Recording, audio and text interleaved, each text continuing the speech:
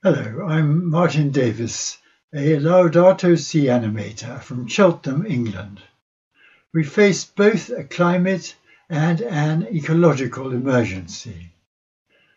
As we approach Easter, let's consider what we might do about each.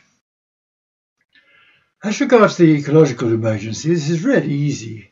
Please join me in signing the Healthy Planet, Healthy People petition addressed to world leaders ahead of this summer's long overdue UN Biodiversity Conference. The other is harder.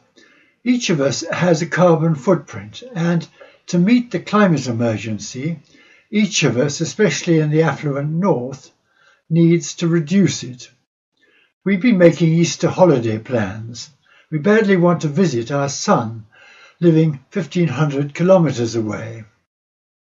That's as the crow flies, and if we also fly, that'll cost us in round figures a hundred pounds. If instead we go by train, the cost will be five times as much in cash. In carbon terms, it's different. Flying costs the equivalent of one metric ton of CO2, not five times as much as the train, but 50 times. Yes, flying costs the earth, and we only have one earth.